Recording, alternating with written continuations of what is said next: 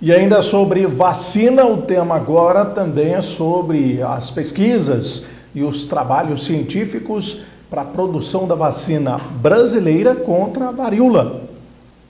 O Brasil acaba de receber material biológico para começar a desenvolver a vacina contra a varíola dos macacos. Anne, são sementes do vírus e eles foram doados pelo Instituto Nacional de Saúde dos Estados Unidos e foram encaminhados para o Centro de Tecnologia e Vacinas da Universidade Federal de Minas Gerais. Aí então a matéria-prima começará a ser desenvolvida. Enquanto essa vacina brasileira não é feita, o Brasil tem importado imunizantes. O país recebeu 50 mil doses já prontas da vacina contra a varíola dos macacos. Neste momento, o país tem mais de 5.500 casos confirmados da doença e mais da metade deles aqui no estado de São Paulo.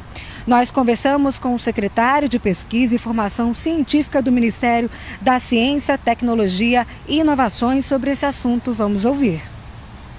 Nós estamos trazendo uma segurança para o Brasil, uma certa independência. Caso haja necessidade, as empresas não possam vender as vacinas, nós temos a, a célula semente aqui e podemos produzir em território nacional e em boas práticas aqui no CT Vacinas, a partir do CT Vacinas, em cooperação com outras instituições, por exemplo, Biomanguinhos e a Fiocruz.